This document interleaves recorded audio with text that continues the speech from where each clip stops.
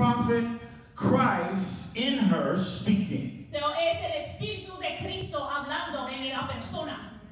Amen. Amén. Gloria a Dios. We, we, we become too familiar with people Nos convertimos muy familiar, muy cercanos, personales con la gente. and not understanding when God starts speaking through people. Y eso nos estorba para que y no entendemos que es Dios hablando por la persona.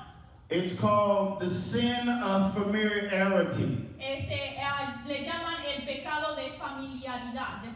I've become so familiar with you, I can't receive the Spirit of God on your life. So, yo me, me- me pongo tan cercano, tan familiar contigo, que cuando Dios habla por ti, lo ignoro y no lo recibo porque te conozco demasiado bien. I'm familiar with your weaknesses and your failures, and I helped you through this and that. So, no empiezo a pensar, oh, yo sé cómo ella ha fallado, yo sé lo que ella ha hecho, yo sé dónde la han dado, yo sé lo que las cosas que ha hecho. Y cuando Dios habla por ti, no lo recibo porque como que me impide. So yeah, so sometimes it can help. It can stop you from receiving when when they are being used by the Lord. So, eso resiste, ese el pecado de familia resiste y no te permite recibir la palabra de Dios que está siendo declarada. You have to know sometimes that's not them. That's the Lord speaking. through tienes que discernir, eso no es ella o él eh, hablando, es el Espíritu de Dios que habló por él. Let me be quiet. The Lord is using them. Déjame quedarme callado y recibir, escuchar lo que Dios está hablando a través de él. They are not just my friend right now. That's Christ in them, the hope of glory for So, all eso no nations. es mi amigo mi amigo, eso es realmente el Espíritu de Dios hablando a través de esperanza de gloria. That's Jesus in them and the Holy Spirit flowing through them. Ese es Jesús en él o en ella, ese es el Señor hablando a través de él o a través de ella. Amen. Amén. And we reverence the Holy Spirit and we reverence God in them. So, reverenciamos el Espíritu Santo, reverenciamos a Dios en ellos. We don't worship man, we just know, man, the Spirit of God is using them. No, no reverenciamos a la persona, sino el Espíritu de Dios que está usando esa persona. No time for jokes, no time for playing. The Lord is speaking through No, them. no, no, no, momento de bromas, no momento de juegos, es Dios está hablando. Amen. Amén. That, that's how we start to honor each other's anointing. So, así es como nosotros honramos la unción que hay en cada uno de nosotros. Know when God is using a person. Ah, Entiende cuando Dios está usando una amigo, tu amiga. And usually you can feel it by the presence of the Holy Spirit, the anointing, and the spirit of truth. So, muchas veces lo puedes sentir por la presencia de Dios que puedes discernir en la persona o por el Espíritu de verdad que está hablando sobre por esa boca. Amen? Amén. So we're talking about corporate prophecy. Estamos hablando de profecía corporativa. God wants to speak to us tonight Dios quiere hablarnos a todos en esta noche, through some of you, al- a través de algunos de ustedes, through some of you. a, a través de algunos de aquí.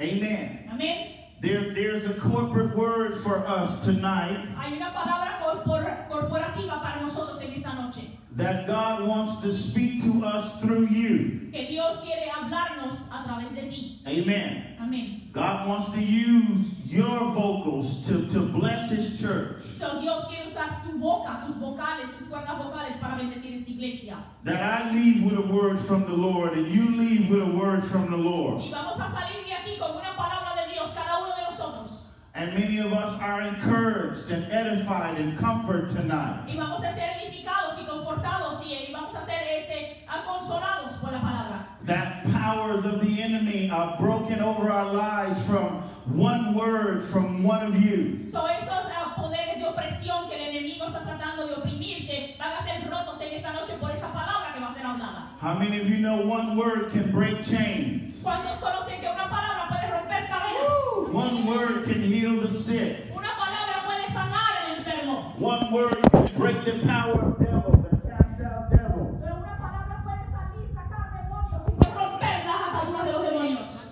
Come on, say amen. Dígame a eso. Come on, get excited. Emociones, hermano. Come on, let the Lord use you for His glory. Deja que el Señor te use para su gloria. Amen. Amén. Get fired up, man, about it. Enciéndete fuego, come on, de- de- You never know when people need ministry. Tú nunca sabes cuándo va a ser el Señor te va a usar para ministrar a alguien. You never know when people need to hear from the Lord. Tú a veces no sabes en qué momento el Señor te va a decir usar para hablar a una persona. Amen? Amén. So I want at least five of you Necesito por lo menos to get a corporate word, que dé una palabra corporativa. and we're going to start ministering that corporate word in just about 15, 20 minutes. Y en 15, 20 minutos vamos a empezar a hacerlo. And uh, uh, just a corporate word. And Una palabra profética corporativa para la iglesia. same thing, it's like I hear the Lord saying, Simplemente cuando usted escuche lo dice, yo escucho al Señor decir to each person in this building a cada persona en esa iglesia and to every person under the sound of my y voice. cada persona que escucha esta voz And I see the Lord in every personal situation y yo veo al Señor en cada situación personal that God is in every personal situation of our lives. que Dios está en cada situación personal de nuestras vidas And God is working and moving y Dios está trabajando to bring us in a particular place and position in Him para llevarnos a una particular posición en Él, in our relationship with Him. en nuestra relación con Él, He's drawing us even when we don't know it. nos está atrayendo aun cuando no nos damos de cuenta. He's working things in and out of our lives Está trabajando en cosas en nuestras vidas y alrededor de nuestras vidas to bring us to a particular place in, in your relationship with Him, para llevarnos a una particular posición en mi relación con Él, which He's working, que Él está operando and it will be completed by the end of the summer for each and every one of us. y va a ser completada para el final de este verano en cada una de nuestras Thank you. God. By the end of the summer, every one of us will be in another place Cada- nueva in your relationship with Jesus. tu relación con el Señor. You'll feel different. Vas a sentirte You'll feel the anointing heavier on your life. Vas a conocer que la unción está más fuerte en tu vida. This is the season I hear the Lord saying, Esta es la, se- la- la temporada que escucho al Señor decir. where I'm making you and breaking you and preparing you for my glory and y destiny, saith the Spirit of the Lord. Dice el Espíritu de Dios. Amen. Amén, amén, amén, aleluya. Oh, será. Hallelujah. Gloria a Dios. Five people with a corporate word. Cuatro personas con palabra profética para la iglesia. Amen. Amén. Vamos. Amen. Alabado Dios. Prepárese. Now, the next thing we're learning is what we call La cosa que vamos a personal prayer and prophecy. Es la próxima cosa que vamos a hablar es la palabra profética y profecía personal. This is when you're praying for a person personally. Eh, Cuando estás orando por una persona personalmente, You pray for them and then you prophesy. oras por ellos, por esa persona y entonces profetizas por esa persona. So, um, this we're, we're usually taught with. So you're praying for this person. Estamos orando por esa persona. Usually you you, you, you pray for family members, altar work at, at the altar or however, personal prayer. la- no, es diferente en cada iglesia, pero la mayoría de las veces hay personas que ayudan al pastor a orar cuando vienen para el altar o así, ¿no? O hay familiares o amigos. Right.